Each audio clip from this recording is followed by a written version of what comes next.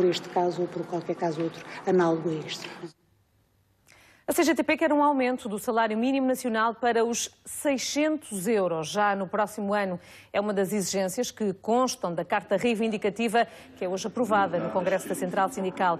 Há outras reivindicações, a diminuição da carga fiscal sobre rendimentos do trabalho, a revogação imediata da sobretaxa de IRS e também o desagravamento do IVA e do Imposto Municipal sobre Imóveis. Neste segundo e último dia do Congresso da Intersindical, Arménio Carlos vai ser reeleito secretário-geral da CGTP, a coordenadora do Bloco de Esquerda, Catarina Martins, vai estar eh, presente no encerramento deste encontro.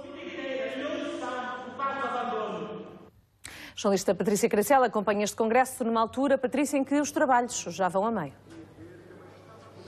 É verdade. Sandra, boa tarde. Nesta altura estamos a meio desse segundo dia de trabalhos do 13º Congresso Nacional da CGTP. Uh, elencaste alguma das medidas e reivindicações da CGTP para os próximos anos. O salário mínimo nacional aumentado já no próximo ano, em 2017, para os 600 euros e havendo depois um aumento uh, todos os anos. É essa uma das exigências da CGTP.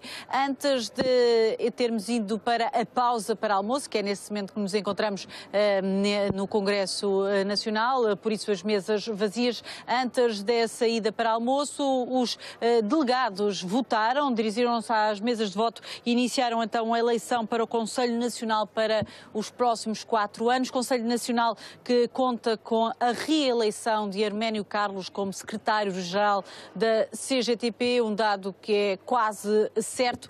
Arménio Carlos que sendo apresentados esses resultados por volta das 17 horas, irá uh, encerrar os trabalhos para, com um discurso. E nessa altura, então, uh, são esperados vários uh, representantes dos partidos. Ouvimos já dizer, Sandra, que vem então Catarina Martins, vai marcar presença, a líder coordenadora do Bloco de Esquerda, mas não será a única. Já ontem foram vários os representantes dos partidos de esquerda aqui presentes neste Congresso. Deverá isso novamente acontecer acontecer. Não sabemos é quem vem em representação, quer do PCP, PS ou Partido Os Verdes. O certo é que Catarina Martins vai marcar presença neste encerramento do Congresso Nacional, que marcará e terminará, terminará com essa reeleição de Arménio Carlos à frente da CGTP para os próximos quatro anos.